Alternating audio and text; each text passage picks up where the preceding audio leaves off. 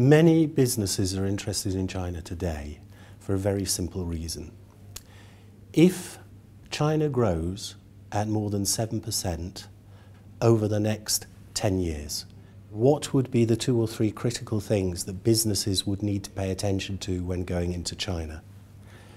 I think the first one is that businesses need to understand that the Chinese operate in business in a very different way.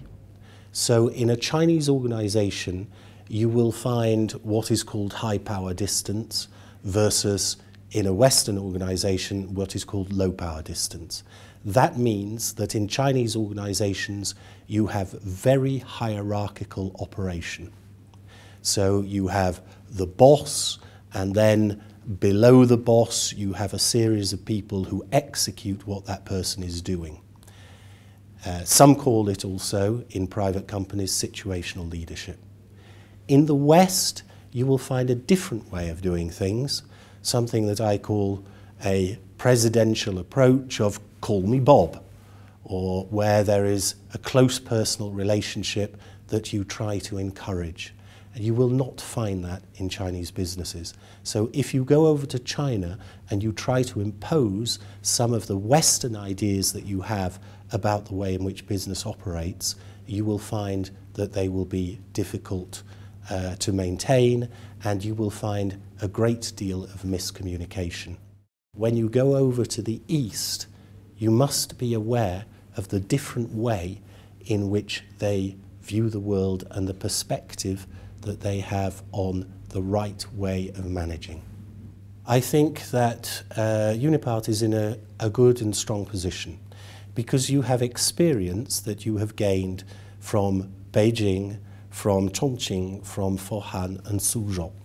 So in the conference that we will be having, there will be an opportunity for, for the people who have been in those businesses to contribute and say what they have learnt over that time. And that is very, very important. You can't, you can't really understand about China without having dipped your toes into the water. So what we need to do is we need to capture that.